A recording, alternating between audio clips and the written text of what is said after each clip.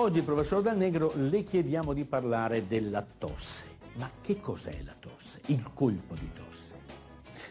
La tosse intanto è un sintomo, come tale è un segno clinico che può riconoscere le più svariate cause. Dire ho la tosse vuol dire equivalentemente a dire ho la febbre, ma la causa può essere la più svariata.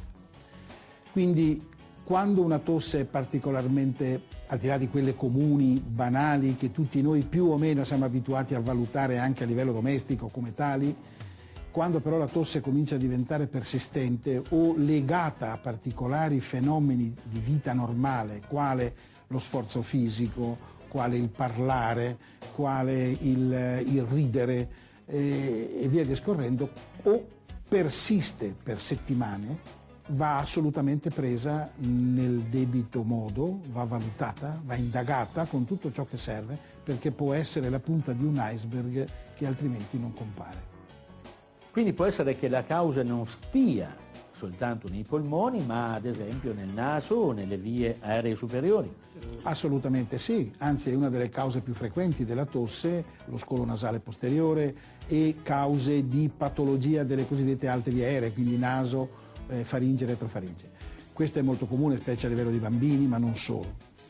Però le, i motivi veri possono essere più svariati, dalle condizioni allergiche, dai fatti infettivi, dalle patologie virali a batteriche, dalle presenza o meno di poliposi. Ci sono molti casi che possono eh, essere per motivi diversi comunque eh, espressi con tosse. E quindi motivo di più perché vada indagata. Che cos'è la tosse secca?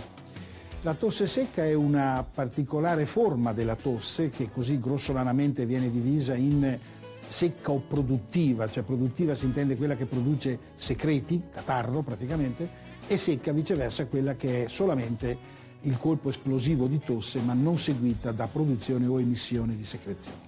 Tipicamente questa è spesso e volentieri delle condizioni allergiche in stagione particolare di rischio, delle infezioni virali al loro primo insorgere o purtroppo di patologie molto peggiori che sono occupanti spazio a livello bronchiale. Si parla di forme anche neoplastiche.